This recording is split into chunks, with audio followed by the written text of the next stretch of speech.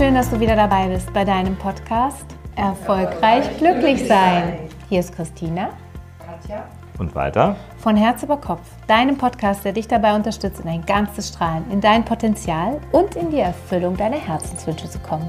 Und heute ist Katja bei uns und sie hat eine Frage. Genau.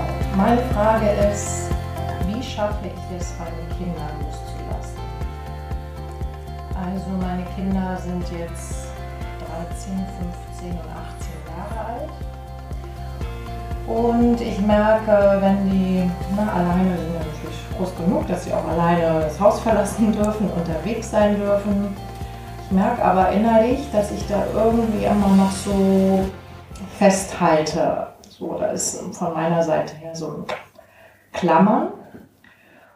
Ähm, ich habe auch vom Universum für mich persönlich zwei Goldversionen im Loslassen bekommen, weil das sind äh, meine beiden großen Kinder, die sind halt von Geburt an, also sie sehen sehr wenig von Geburt an und die gehen auch mit einem Blindenstock halt durchs Leben. Das machen sie ganz entspannt und da sind sie auch sehr selbstbewusst, aber in mir ja, macht es, also ich bin total unruhig, wenn die alleine unterwegs sind. Und dahinter sitzt einfach eine große Angst, dass denen was passieren kann, ne, dass, sie, dass, ihnen, dass ihnen ein Unfall passiert. Ähm, ja, aber auch allgemein denke ich, ähm, irgendwann, wenn sie vielleicht selbstständig sind, ist es also allgemein irgendwie so eine große Angst halt da, dass irgendwas passieren könnte.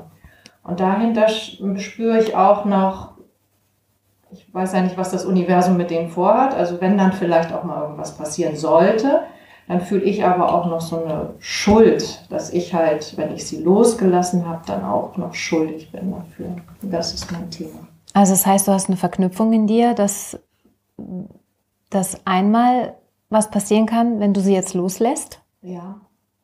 Also das ist ja eine Verknüpfung. Es könnte ja auch sein, dass was ganz Tolles passiert, wenn du sie loslässt, aber die Verknüpfung scheint ja eher negativ zu sein. Ja. Mhm. Hast du eine Idee, wo das herkommt? Also wenn, dann ist es was, also ganz, was ganz Altes, also aus meiner Familie oder auch von meinen Eltern weiß ich das jetzt nicht. Aber ich weiß von meinem Groß, irgendwie so Großvaterbereich so, ähm, da gab es mal eine Sache, dass ein kleines Mädchen ähm, im Teich hinterm Haus ertrunken ist. So, das fällt mir spontan so ein. Mhm. So, aber schon eine alte, sehr alte Sache, ja. Mhm. Nichtsdestotrotz, ja. Aber wenn man mal so, so neutral drauf schaut, geht es dir also zur Hälfte um deine Kinder und zur anderen Hälfte um dich. Also weil ich jetzt einfach mal, ich bin so ein bisschen provozierend damit, ja, es geht nämlich darum, nicht schuld zu sein. Und das ist ein ganz wichtiger, wichtiger Punkt. Und dieses Gefühl, schuld zu sein, das, das ist etwas, was vielleicht, das ist das Erste, wo du ganz sicher bei dir bleiben darfst, ja, weil es, es wirklich etwas ist, was oftmals ausgelöst wird durch irgendwelche Situationen, wie in der Familie mit Schuld umgegangen ist. Christine erzählt immer, bei meiner Familie musste immer einer schuld sein, ja. Zwanghaft musste einer schuldig gesprochen werden und dann war es okay. Und dass man dann sowas mitnimmt, Hast du irgendeine so Verbindung zu Schuld? Zu Schuld sein, etwas falsch machen, es richtig machen wollen, irgend so in die Richtung? Also ich persönlich, ja, ich fühle mich sehr oft viel schuldig und auch, dass ich was nicht richtig mache und falsch, was falsch mache, ja, auf jeden mhm. Fall. Ich versuche immer alles richtig zu machen, ja. Das ist, aber was ist das so eine Art Strategie, die du damals gewählt hast als, als Kind oder Jugendlicher, damit, du's, damit du Anerkennung bekommst, damit du da sein darfst oder wie auch immer es bei dir war?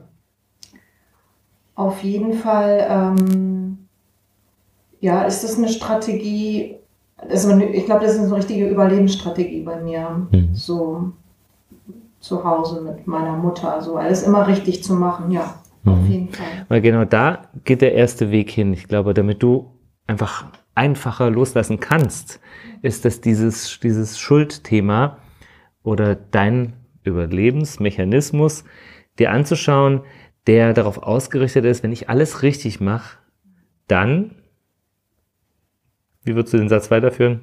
Dann kann nichts passieren. So. Mhm. Genau. Ich muss alles richtig machen, damit nichts passiert. Und ich glaube, da kommst du relativ schnell zu der kleinen Katja, die irgendwo angefangen hat, genau diese Strategie zu wählen. Du hast ja selber beschrieben gerade. Und je mehr du das löst, diese Verknüpfung, umso einfacher wird es mit, mit dem Thema mit deinen Kindern höchstwahrscheinlich umzugehen, weil es gar nicht um, um dich geht bei deinen Kindern, sondern weil du eher durch deine Sorgen deine Kinder beschwerst. Weil würdest du, würdest du denn sagen, dass deine Kinder, wie alt sind die Älteren jetzt, die nicht so gut sehen? 18 und 15. 15 und 18. Glaubst du, diese 15- und 18-Jährigen sind größerer Gefahr ausgesetzt als andere 15- und 18-Jährige, die gut sehen? Ja, das ist auch noch so ein, so ein Muster in mir. Für mich ist, glaube ich, auch dieses Sehen, immer alles so im Blick haben und ähm, die Kontrolle haben, wichtig. Ne, da fühle ich mich sicher, das ist so ein Muster. Und wenn das natürlich nicht so da ist, dann habe ich auch keine Erfahrung, äh, dass es vielleicht auch, also anders auch funktioniert sozusagen. Beobachte deine Kinder. Ja. du hast zwei Lehrmeister, die höchstwahrscheinlich sehr gut wahrnehmen, ohne dass sie gut sehen, die manchmal mehr sehen, als du siehst, ohne dass ich sie kenne. Ich weiß, dass Menschen, die nicht gut sehen oder gar nichts sehen, ein sehr großes äh, Einfühlungsvermögen für Situationen, für Menschen, die entwickeln das automatisch. Und für sie ist es, die sehen mehr als du. Das heißt also, und zusätzlich sind sie durch das, was sie eben vom Leben mitbekommen haben, nämlich äh, nicht so gute Augen, auch vor gewissen Dingen auf eine Art geschützt. Ist dir das schon mal bewusst geworden? Doch, das habe ich, doch, das habe ich schon mal ausgesprochen und ist mir auch schon bewusst Ja. geworden. Also ich könnte mir vorstellen, dass sie nicht Moped fahren, zum Beispiel. Ja. Also ich, ich erinnere mich, als ich 15 war, hatte ich ein frisiertes Moped und bin ja, auf Partys dann betrunken mit dem Moped rumgefahren. Und es gab Situationen, die hätten auch anders ausgehen können. Und es gibt ja alle Arten von Möglichkeiten, wie 15- bis 18-Jährige so unterwegs sind. Das heißt also, das ist schon mal einfach wichtig, dass du das bewusst machst und dass du die Projektion von dir, von deinem Ich muss es sehen, dass du das auf deine Kinder drauflegst. Und diese Sorgen sind wie bleischwere Gewichte, nämlich deine Ängste, die du deinen Kindern um den Hals hängst. Und wenn man das merkt, dass du damit eigentlich das Gegenteil tust oder bewirkst, dass du das deinen Kindern gut tut, dann wirst du merken, okay, ich darf vielleicht diese Ängste zu mir nehmen. Und das bedeutet, sie ja wirklich nach Hause zu holen, da wo sie hingehören. Sie gehören nicht zu deinen Kindern. Und Ich glaube, ich würde auch tatsächlich nochmal dahin gucken, was damals war mit dem Großvater und dem Mädchen. Ich glaube, dass das von, von da an irgendwie wie so ein ungeschriebenes Gesetz immer so über euch schwebte, über die gesamte Familie. Und das würde ich auf jeden Fall nochmal beleuchten, weil das kann nicht nur dich frei machen, sondern eben auch nochmal rückwirkend sehr positiv wirken auf das gesamte Familiensystem und auch für die Zukunft sehr positiv wirken. Was mir da dann auch immer noch einfällt, ist dieses Findet Nemo. Hast du das gesehen? Findet habe ich auch gerade dran gedacht. Nee, ich kenne nur vom Namen. Ah, das darfst du dir unbedingt mal ansehen. Das ist so erhellend, weil die Eltern sind ja auch so wirklich sehr vorsichtig und wollen Nemo immer beschützen, weil er hat ja so eine Flosse, die ist nicht so funktionsfähig wie die andere. Und dann, dann sagt auch diese Dory, die immer so mit dabei ist, ist so ein ganz verwirrter Fisch, der aber ganz voller Lebensfreude ist und sich überhaupt keine Sorgen macht. Der sagt dann ja, aber, aber wenn, weil der Vater sagt, das darf er auf gar keinen Fall machen, es könnte was passieren. Und er ist immer so wirklich überfürsorglich. Und dann sagt so Dory, aber dann kann ja auch gar nichts passieren. Weißt du, und deswegen auch so diese, diese Frage nach der Verknüpfung, weil das, was du mit passieren verknüpfst, ist ja durchaus negativ. Und das, was Dory zum Beispiel mit, mit passieren verknüpft, das, das, da ist doch das Leben. Das ist ja wunderschön. Da sind die ganzen tollen verschiedenen Dinge zu erleben und zu erfühlen und ich sage jetzt extra nicht zu sehen, sondern weil deine Kinder das anders erleben werden. Aber sie werden da draußen Abenteuer erleben. Und diese Abenteuer, die, die werden sie, werden sie erfüllen sicherlich und die werden sie bestärken und die werden sie formen und verändern und die sind ganz wunderbar. Das heißt also im Grunde hat der übersorgsame Papa den kleinen Nemo immer vor den Abenteuern des Lebens abgehalten und vor der Schönheit und, und vor dem Erleben und, und dem Spaß und der Lebensfreude und der Leichtigkeit. Das hat er auch alles weggehalten von ihm. Und das ist halt die Schattenseite. Und ich glaube tatsächlich, so ist es auch, wenn wir versuchen, unsere Kinder immer zu beschützen. Und, Und sie hat wegzuhalten vom geklappt. Leben. Es hat überhaupt nicht geklappt. Dank. Und dann hat er das Abenteuer seines Lebens erlebt. Und das war wirklich sehr spannend. Und ich glaube, wenn das in Balance ist und wir sie mehr lassen, dann erleben sie auch so Dinge, ohne dass sie sich da dann wirklich in Gefahr begeben müssen, weil er war dann tatsächlich wirklich, teilweise war es wirklich dann auch ähm, sehr herausfordernd, würde ich sagen. Und deswegen rate ich das wirklich, ich finde es toll, Findet Nemo zu schauen, weil es zeigt einfach, was geschieht, wenn man so helikoptermäßig unterwegs ist. Und ich kenne das selber von mir. Ich habe auch immer meine Schwester so betüdelt, die war so ein bisschen mein Kind. Ich habe die erzogen und auf sie aufgepasst und irgendwann habe ich echt gemerkt, dass ich ihr Leben sehr schwer mache damit und ihr ständig irgendwelche Ängste von mir überstülpe, die sie sonst gar nicht gehabt hätte. Und dadurch wurde ihr Leben schwer. Nicht durch das, was sie vielleicht draußen erlebt hätte, sondern durch die Schwester, die immer gegluckt hat und aufgepasst hat, dass bloß nichts passiert. Und in dem Moment, wo ich sie endlich mal freigelassen habe, kam sie in eine solche Leichtigkeit und ich konnte mich nicht mehr ablenken mit ständig auf sie schauen, sondern plötzlich habe ich gemerkt, was passiert, wenn ich niemanden mehr habe, den ich beobachten, beäugen, betüddeln darf. Dann habe ich gemerkt, ach guck mal, da ist ja wirklich noch eine ganz schön große Baustelle, die jetzt mal angeschaut werden darf. Wie geht's mir, wenn ich plötzlich alleine bin? Wie geht's mir, wenn meine Schwester in die große Welt hinausgeht? Wie geht's mir, wenn ich mich mit mir konfrontieren darf? Da wollte ich gar nicht hin. Und deswegen war das sehr heilsam. Dann geht's nämlich los. Da, wo es nämlich wirklich lang geht, bei mir. Und das könnte ich mir bei dir auch vorstellen. Dann darfst du dich neu finden.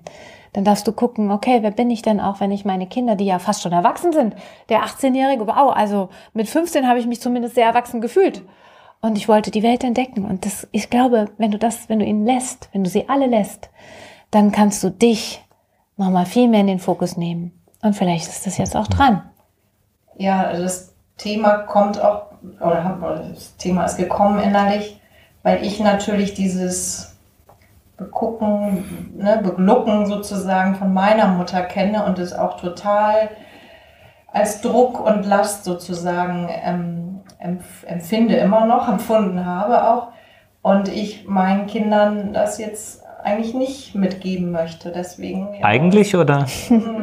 ich möchte meinen Kindern, ich möchte meine Kinder loslassen. So. Nee, sag's ruhig genauso, wie du es wie du's gerade gesagt hast. Du möchtest ihnen das nicht weiter mitgeben, weil das ist manchmal Ketten, die über Generationen immer wieder tüddelige, äh, nicht tüddelige, sondern tüddelnde Muttern, Mütter oder Väter, Glucken. die, äh, die immer sehr behüten und letztendlich dieses Gefängnis immer weitergeben. Und du kennst es von dir. Und ich glaube, wenn du, wenn du schon siehst, wie deine Kinder durch die Welt gehen, obwohl sie nicht so gut sehen, und es für sie völlig normal ist, ja, es ist für sie einfach so, wie es ist, und sie denken wahrscheinlich weniger darüber nach als du. Ja. Ja? Und das ist, und sich das bewusst zu machen, und das ist, glaube ich, genauso wie bei Nemo so gewesen mit seiner Flosse, er kann wunderbar schwimmen. Und er ist ein absolut für sich perfekter Fisch. Und ich glaube, das ist so diese, das eher zu stärken, zu sagen, ey, du schaffst es. Boah, ich möchte mal allein irgendwo hinfahren. Ja, das schaffst du. Und ich erinnere mich da eben an meine Mutter, die, ich war mit 14, äh, da war ich eben noch relativ klein, so sah ich aus wie elf, und dann wollte ich alleine in Urlaub fahren. Ja, und dann hat meine, mein Vater gesagt, das ist so Quatsch, der Junge kommt mit. Und meine Mutter hat gesagt, warte doch mal, was willst du denn machen? Und ja, dann habe ich äh, so Kataloge gewählt und ich bin dann allein nach Österreich zum Surfen, zum Surfkurs gefahren. Und das war wahrscheinlich der Urlaub meines Lebens. Weil ich, der hat mein, mein Leben verändert. Ich bin nachher Surflehrer geworden, bin nach ausgewandert nach Fuerteventura und, und, und. Das war ein, eine Schlüsselsituation, in der meine Mutter gesagt hat, okay, es macht mir Angst, aber geh. Und das ist, das ist so ein, das ist Qualität, äh, die Eltern ja wirklich in einem richtigen Moment wirklich aufbringen dürfen, in dem Moment zu sagen, okay, ich habe Angst davor, aber geh, mach's. Und das, weil du kannst sie sowieso nicht beschützen. Und wir wissen nicht, wie lange deine Kinder leben, wie lange du lebst. Es ist einfach, jedes unserer Leben endet mit dem Tod. Und es ist, es ist, das ist das Risiko Leben. Und ich glaube, das dürfen wir eingehen. Ich glaube, dass auch du dadurch sehr viel freier wirst. Ja. Und nicht sinnlose, kein sinnloses Risiko eingehen, aber so dieses normale Risiko zu leben, das dürfen wir mit vollem Herzen eingehen. Ja. Das und da ist eben gut, die Angst zu fühlen. hm? Ja, und du wirst sicherlich auch freier werden. Du wirst merken, dass sehr viel Last abfällt, wenn du immer wieder siehst, wie sie ihre Schritte machen und dadurch bestätigt werden und, und immer mehr auch in ihr Strahlen kommen und in ihr eigenes und in ihr eigenes Leben. Und du dann eben auch die Möglichkeit hast, dein eigenes Leben wieder mehr zu leben. Und sicherlich ist es auch etwas, was du dir vielleicht in deinem Herzen wünschst und es sich deshalb jetzt gerade auch so deutlich zeigt.